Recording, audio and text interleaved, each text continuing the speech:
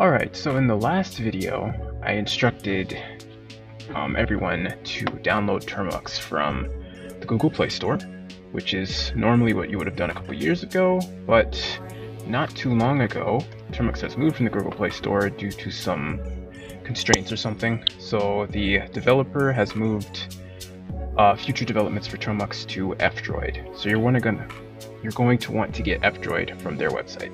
So if you download it from the Google Play Store, it still works, but because it's not getting updates anymore, certain things will fail to function in the future. So what I recommend doing is uninstalling this. Now, it's actually a process to switch from the Google Play Store version to the F-Droid version, and the process basically involves uninstalling every single part of the Google Play version off of your device. So that's what I'm going to do right now. I've reinstalled it on my Tab S6 just so we can have a good baseline. So I'm going to uninstall Termux.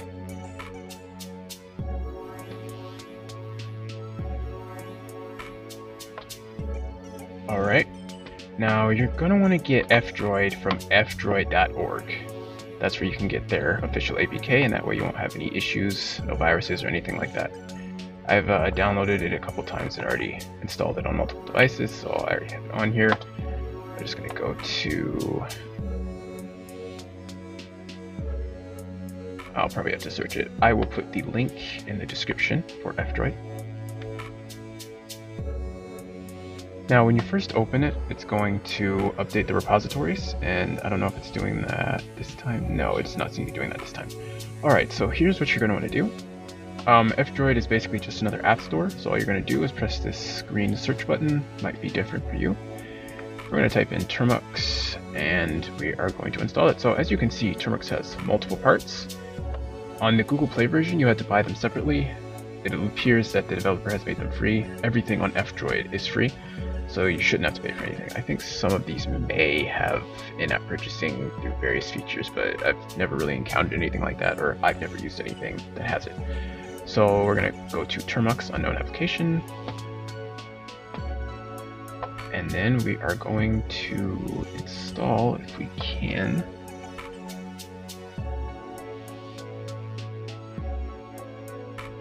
Alright, so I've actually had this issue before. Um, and what I had to do was search online and get it from the Termux, I mean the F-Droid website. Uh, let's see if we can actually search that on F-Droid. I don't know if you can search for apps on F-Droid, but let's see if we can. Oh, great. Find apps. Alright, Termux. So if it doesn't install, um, a lot of times on Android, sometimes it'll seem like something isn't compatible, but it might be. Like certain apps are designed specifically for a phone, but they still function on tablet. So what you'll have to do is either download the app on a device on which it is compatible and then extract the APK, or you can find it online. So F-Droid makes it really easy for us, so we can just search it, and here's Termux right here. And what we're going to do is we're going to see if there is, alright, uh, we have F-Droid, but we want to get the actual package. So right here where it says download APK, we're just going to click that. And remember, you want to get it from fdroid.org, that's where there's no issues, so we're just going to download that. And... Okay, looks like I'm going to access my downloads. Okay, perfect. No download files. Right.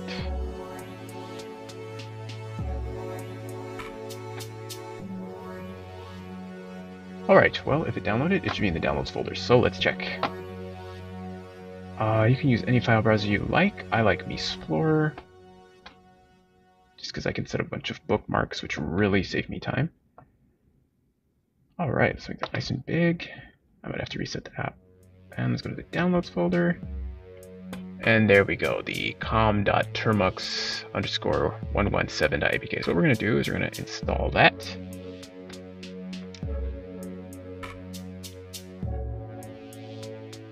Alright, so I was really scared when I first saw this because I was like, oh no, why isn't it installing?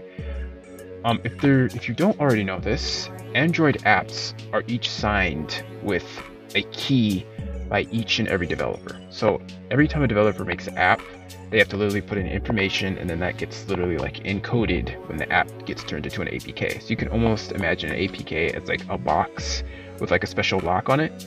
So because the Google Play version was signed with one key and this app was signed with a different key, even though they're different apps, Android is not going to allow it to install if there's any, you know, parts and pieces that are incompatible.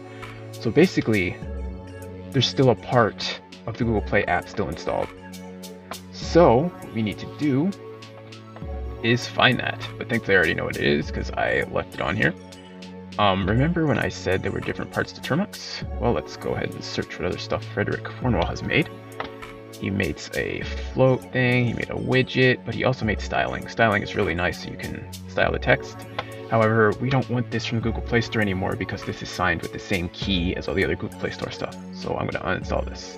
So this is the process. You just want to make sure that every single part of whatever Termux setup you had previously is gone. So that's uninstalled. So let's try that again. We're going to go to our downloads folder and go to our APK that we downloaded. So I left stuff on purposely, but like if you're doing this, just make sure you uninstall all the parts of Termux and you can search that um, from your device settings. It'll might be easier or harder depending on the manufacturer. Samsung makes it really easy, but just go ahead and search it. All right, so let's try installing this again. All right, so the app installed and we're going to uh, just do done for now because I actually want to install styling so I can finish setting it up. So when we search Termux, uh, Termux styling, it appears, oh wait, that's not compatible either. All right, it doesn't want to install that either. That's okay, or does it? We can. Nope. All right, so once again, we're just gonna go to the website and download it from there. I think I can just press the that key. Alright, here's styling. Once again, we're just gonna download the APK that they have for us. I just want the latest one. So that'll be the top APK it looks like. I'm just gonna download that.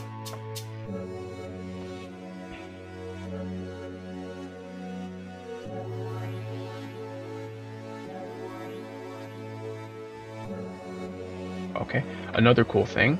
Um, I don't know if this is shown in every single file manager, but in this file manager, if a file is not completely downloaded, it'll show up as a dot pending and then the file name. So that way you can know whether or not you can use the file. So we're just going to click refresh again, should be nice and downloaded, and there it is, Termux styling. So let's go ahead and install that. And I'll show you how to access styling in just a second because I got to make the text bigger. Alright, so we have the latest updates with the F-Droid version of Termux. Let's go ahead and open that. It's going to install. Alright, so let's go ahead and open that up. A keyboard shortcut to make the text bit bigger is Control plus the Alt button plus the plus equals button. And you're going to want to press all of those at the same time. So just Control equals plus plus plus plus plus. Alright, and that makes it a little bit bigger. I want to style my text just a little bit. Um, so there's like other things that Termux can do. You have to install various add-ons. I've already installed Style add-on. And I'm going to choose the color. I usually choose green screen if I can find it. Where you go?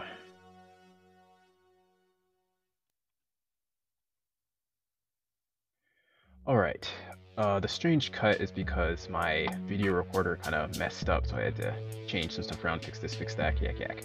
Anyway, basically what I did is I long clicked, or is it right click?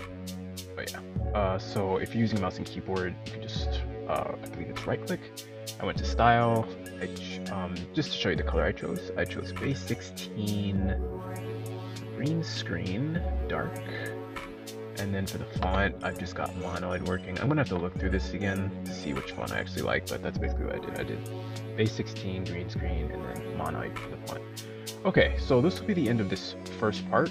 In the next part, we'll do Andronix, and we'll go from there. But I just wanted to get this video out because it's actually kind of crucial. I literally had to uninstall my installations of Termux across all of my tablets just to make sure I had the latest version because certain things weren't working in Linux, certain things weren't working in certain distros. So, and you never know what the issues are going to be if you're not up to date. So I totally, totally recommend you do the same. Update. Termux is a vital part of this whole Linux on Android ecosystem, so make sure you have the latest version. and I hope I've helped out with that. Anyway, thanks for watching.